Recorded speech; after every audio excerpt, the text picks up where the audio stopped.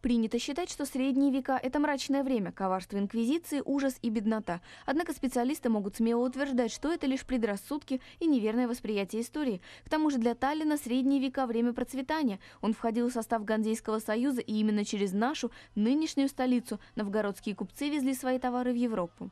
Когда римляне отошли один прекрасный день из Британии – 410 году они увезли всю систему, в том числе и серебро, которое было, которое было основой денежной системы, все рухнуло. И по этому поводу после развала э, Западно-Римской империи это естественно было откаты такое мрачное время. В Эстонии есть исключительная ситуация в том смысле, что средневековое время Ганзейский Таллин, допустим, был исключительно богат. Он одолжал деньги и западноевропейским, ну, так, так сказать, довольно богатым городам, и по этому поводу в Северном Европе одно время в Таллине было вообще центр, так сказать, богатства и власти.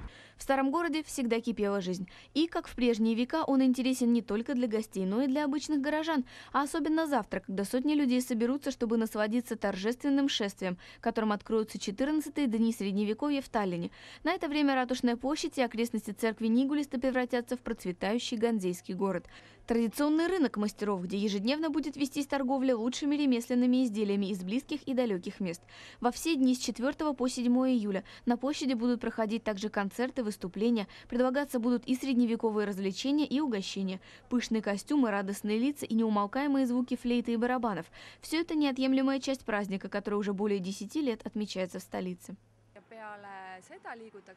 Мы не стремимся каждый год предлагать что-то новое, скорее из года в год. Дни Средневековья все глубже погружаются в эпоху того времени. Конечно, и в этом году всех гостей праздника ждет немало концертов, мастерских, товаров и прочего.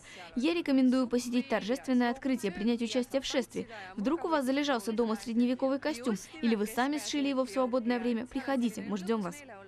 14 дни Средневековья продлятся до 7 июля. В дни праздника можно будет не только купить изделия эстонских мастеров или поучиться у них рукоделию, но также пройдет множество экскурсий, кстати, и на русском языке. Вечерняя прогулка с легендами, которую проведет театр Самсары, спектакль в доме Хопнера, большой турнир учеников «Средневековая слобода». Там можно будет попробовать свои силы в различных мастерских ремесленников, в средневековых играх на ловкость и выносливость пройти школу юного рыцаря.